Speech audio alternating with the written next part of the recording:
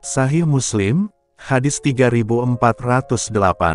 telah menceritakan kepada kami, Laits dari Nafi, dari Ibnu Umar, dari Nabi Sallallahu alaihi wasallam, bahwa beliau bersabda, Ketahuilah, setiap kalian adalah pemimpin, dan setiap kalian bertanggung jawab atas apa yang dipimpinnya. Seorang pemimpin yang memimpin manusia, akan bertanggung jawab atas rakyatnya, seorang laki-laki adalah pemimpin atas keluarganya, dan dia bertanggung jawab atas mereka semua, seorang wanita juga pemimpin atas rumah suaminya, dan anak-anaknya, dan dia bertanggung jawab atas mereka semua, seorang budak adalah pemimpin atas harta tuannya, dan dia bertanggung jawab atas harta tersebut. Setiap kalian adalah pemimpin dan akan bertanggung jawab atas kepemimpinannya.